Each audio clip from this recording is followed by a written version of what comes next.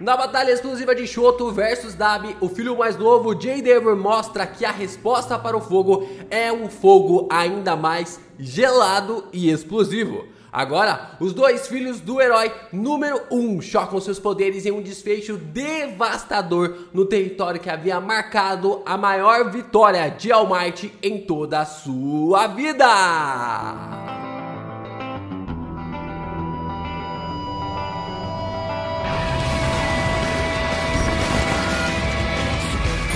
こうへブルスウルトラ。É o LP e vocês estão no canal do Geek Brasil. Fiquem ligados porque esse vídeo contém spoilers do mangá de Boku no Hero capítulo 3, segundo 2. Sim, pessoal, que capítulo foi esse? Caraca! Cada vez que o Horikoshi ele escreve algo assim, eu fico pensando, meu Deus, quem escreveu aquela saga da Star Stripe, né? Mas vamos ignorar aquele volume 34, vamos pensar que é um delírio coletivo, porque este capítulo foi animal. Esse é Shoto Todoroki, meus amigos.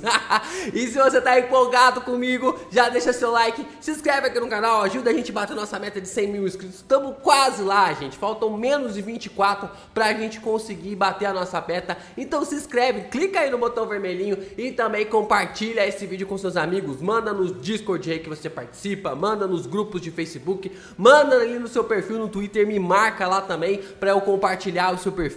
Faz aí o canal do Geek Brasil crescer ainda mais para a gente trazer mais conteúdos para vocês. Vamos lá, né? Começamos o capítulo com um flashback do Shoto na noite anterior do começo da guerra. Deku está meio preocupado ali com Todoroki tendo que lutar contra o seu irmão sozinho, e Shoto diz que está tudo bem. O filho mais novo do Endeavor diz que o pai dele vai dever muito para ele por causa disso e que ele terá muitos problemas. Mas ele tem essa capacidade, ele tem essa capacidade de entendimento de que o seu pai não cumpriu a sua promessa, enquanto os meninos estão realmente pelados ali no fundo, terminando de tomar os seus banhos. Shoto então diz que isso foi uma espécie de castigo, mas que está tudo bem, já que Hawks e Janice pensaram em tudo no planejamento para que as batalhas acontecessem. O filho mais novo do Endeavor então diz que para chegar onde ele quer ir, ele não pode evitar Dab, por isso sua técnica nova é muito importante. Shoto então ativa um X em volta do seu corpo de chamas e diz que isso ajudará ele a ultrapassar essa barreira. Essa barreira hoje que é o seu irmão. Deku então fica entusiasmado que entendeu que a nova técnica ali do Shoto pertence àquele treinamento que ele estava fazendo juntando as mãos. A gente viu várias vezes o Shoto meio que juntando as mãos para fazer aquele poder, para tentar aprimorar um pouco mais as suas habilidades. O garoto sabe que aquele poder é diferente do glorioso punho ardente, que aquilo que o Shoto estava fazendo era algo novo. Hoje responde que o Deco não sabe da técnica, pois foi embora. E Kaminari brinca com o Shoto dizendo que o X nem está tão quente, né? Deixando o garoto constrangido com as brincadeiras dos seus amigos. Deco tenta tocar para provar a afirmação do Kaminari de que a chama não é tão quente assim, enquanto Ser, Bakugou e Ida discutem ali no fundo sobre quem vai tomar banho ou sobre quem é mais forte ou coisa do tipo. Bakugou fala que ele ainda é o melhor em batalhas, enquanto Ida tá chamando a atenção de todo mundo ali. Shoto então mostra que dessa forma ele consegue conectar os seus dois poderes e utilizar os dois ao mesmo tempo. Como se pudesse realmente fazer com que as duas habilidades, tanto o fogo quanto também o gelo, se tornassem uma individualidade só. Assim, o Shoto faz o sangue frio e o sangue quente circular por todo o seu corpo, formando uma estabilidade mútua em seus poderes. O frio e o calor se misturam, criando assim uma chama fria, por isso o nome de fósforo, né? Na semana passada a gente trouxe um vídeo explicativo aqui sobre o que, que seria o fósforo, né? Então é quase parecido com aquela explosão que tem realmente de fósforo que aconteceu na guerra do Vietnã e muitas outras guerras na qual a gente pôde ver no decorrer da humanidade. Seu pai queria que o seu corpo esfriasse quando ficasse extremamente quente, mas ele vai pelo outro lado. Ele vai esquentar quando estiver extremamente frio, criando assim as suas chamas frias. Então, Todoroki agradece ao Deku por fazê-lo entender que aquele poder não pertence ao seu pai ou à sua mãe, mas sim é dele. E ele diz obrigado sorrindo para o nosso Porcelana Boy. Voltamos para a batalha de Shoto e Dabi com o garoto chamando o impacto de congelamento e dizendo que aquilo se trata de lâmina branca de chamas frias, né? Basicamente o seu poder, a sua habilidade ali tem algo conectado com lâminas e também com a sua chama fria, que é a sua nova habilidade. E aí, como eu falei pra vocês, a gente tem esse negócio de chamas brancas, né? Infelizmente, o Horikoshi ainda não fez a página colorida pra gente saber mais ou menos como que é essa habilidade, mas já dá pra entender, né, que como não é alaranjado, né, como as chamas não tem uma tonalidade alaranjada, porque não tem tonalidades meio escuras. Normalmente o laranja ele é usado como branco, como padrão, mas como o fogo ele varia entre o laranja e o vermelho, é se usado ali algo meio para mostrar que o fogo está variando em suas chamas, em seu fogo, em seu poder, né? em seu fogo, em suas chamas e em seu poder ali em relação ao mangá, já que o mangá é uma história em preto e branco.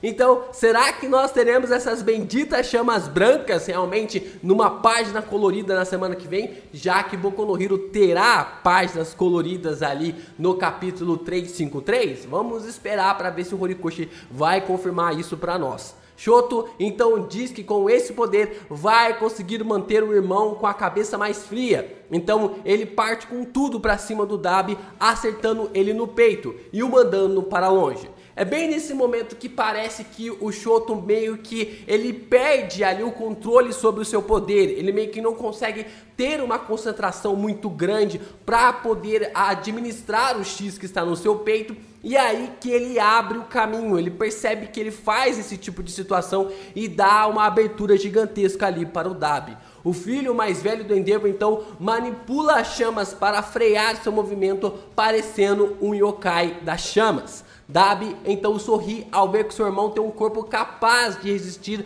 aos seus golpes e que não existe mais ninguém tão qualificado quanto Shoto para lutar contra ele. O filho mais velho do Endeavor então começa a dizer o quão injusto é a vida sobre ter ou não ter escolhas. Mesmo sendo irmão de mesmo sangue, ele diz que nunca teve chances de competir com o Shoto. E quem disse que isso era uma competição, né, Dabi?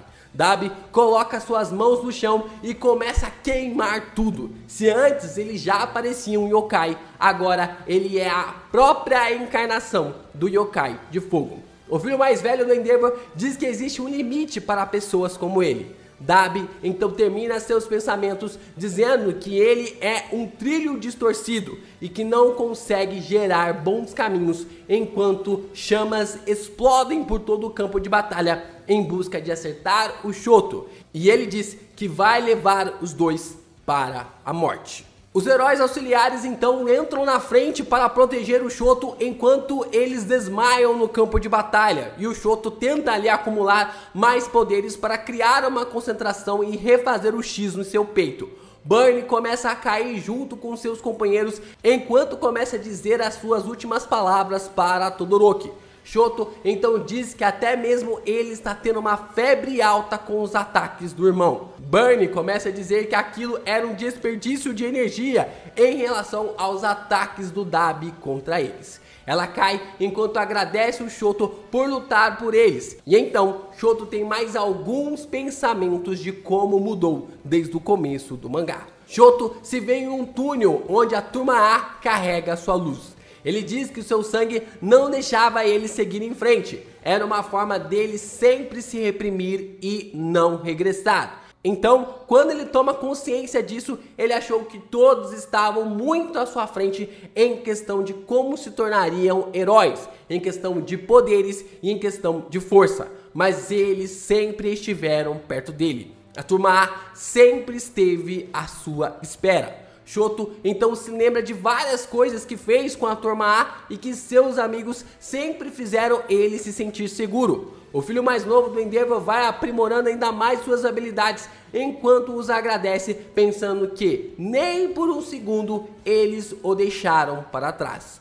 Shoto então se lembra das palavras de Mount Lady, dizendo que seus movimentos são especiais e que são um símbolo de que ele é e que precisa mostrar o que pode fazer. Que as pessoas precisam olhar para o Shoto e sentir confiança de que se existe um perigo, se existe um mal e que o Shoto chegou na batalha, esse mal e essa desesperança precisam ir embora. Todoroki então sai em disparada na direção do Dabi com o pensamento de que vai transpassar o seu irmão se for necessário. Os olhos do Dabi saem do modo insano e voltam a ter pupilas porque Shoto conseguiu acertar seu corpo em cheio em um poder avassalador.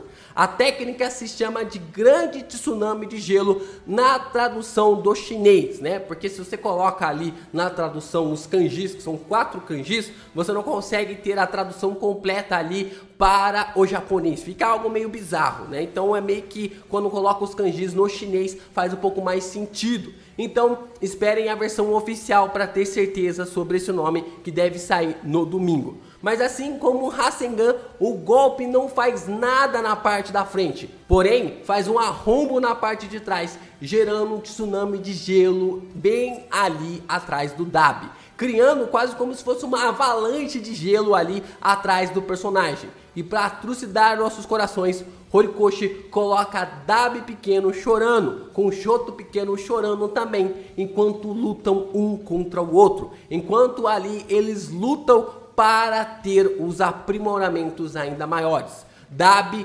tentando realmente criar a aprovação do seu pai e o Shoto lutando para se entender por que, que veio a esse mundo. E então temos o último painel inacreditável do Horikoshi. Por que, que esse cara é fora da casinha? Com o Shoto congelando tudo onde havia chamas.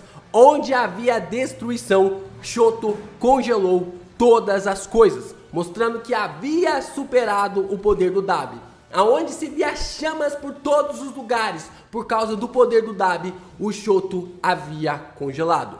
O editor do mangá termina ali dizendo para nós que a arena da luta foi acalmada com o congelamento de tudo e atingindo então a primeira vitória dos heróis. O capítulo acaba.